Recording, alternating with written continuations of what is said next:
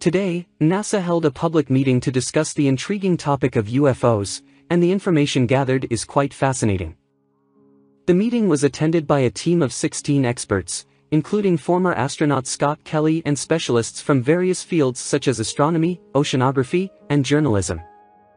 This panel delved into the UFO phenomenon in detail. Here are some important points discussed during the meeting. The need for high-quality data. Panel chairman, astrophysicist David Spergel, emphasized in his opening speech the necessity of collecting more high-quality data on UAPs. He stated that the lack of data is the biggest obstacle to understanding UFOs. 800 mysterious reports, the team gathered over 800 mysterious reports. However, it was noted that only a small fraction of these reports are unexplainable. NASA officials revealed that they receive between 50 to 100 reports each month, and only 2% to 5% of these are truly unidentified events.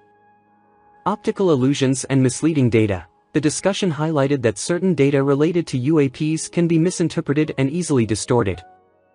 For instance, some radio waves recorded by researchers in Australia initially appeared to have an intriguing structure, However, it was later discovered that these signals were actually emitted by microwave ovens. Encounters with extraterrestrial beings. NASA researchers were also asked the question, has NASA encountered extraterrestrial life? The researchers stated that the question of the existence of extraterrestrial life is still unanswered. They mentioned that no encounters with alien life have been made yet, but there are many potential environments beyond Earth, and research in this area is ongoing. The space agency emphasized that they continue their efforts to search for extraterrestrial life. NASA's acknowledgement, it is important to note that NASA did not make its first acknowledgement of the existence of UFOs. The U.S. Department of Defense and NASA had already acknowledged the existence of unidentified flying objects, and there have been multiple instances of sharing UFO footage. The information obtained during this meeting has sparked significant interest among the public and reignited discussions about the UFO phenomenon. NASA's independent research group emphasized the need for more high-quality data regarding unidentified aerial phenomena, which are referred to as unexplained anomalous events. NASA will share a detailed report on UAPs in July.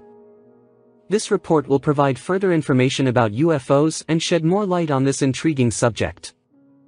Hi, I'm Samit Ozalp.